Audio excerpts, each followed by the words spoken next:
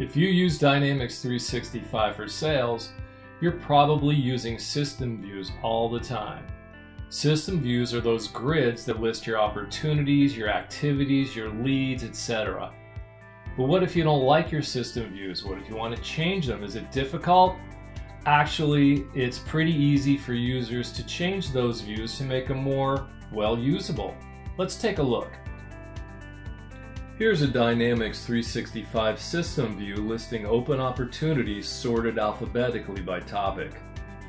There are 10 columns in this view, but 4 of them are irrelevant and 2 I want to move.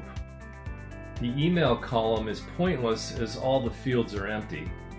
The status column is redundant because, duh, this view consists entirely of open opportunities.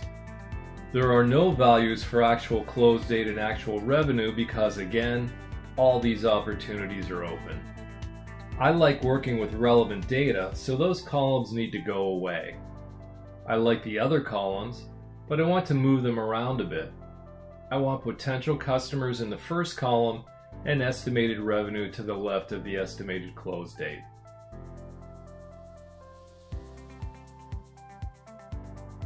In the old days, you used the advanced filter icon outlined in red to make these changes, but it was often too slow. The two icons outlined in gold make modifying and filtering views faster and easier. Click on the Edit Columns icon, and a panel emerges from the right. Drag these buttons up or down to rearrange the columns.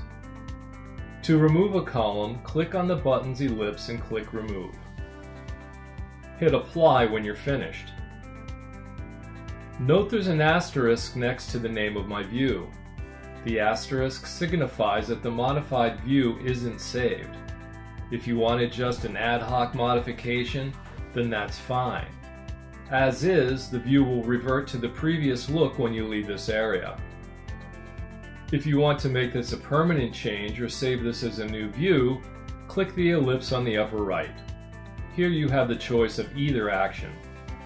Note the asterisk is now gone, meaning changes have been saved to our old view.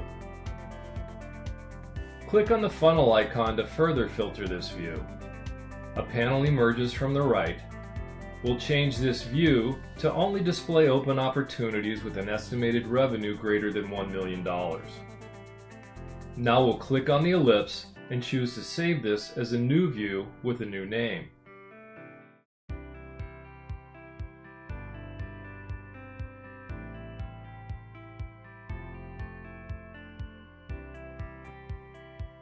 That's all it takes to get started modifying system views in Dynamics 365. If you don't have the permissions to make those changes, ask your system admin or partner for help.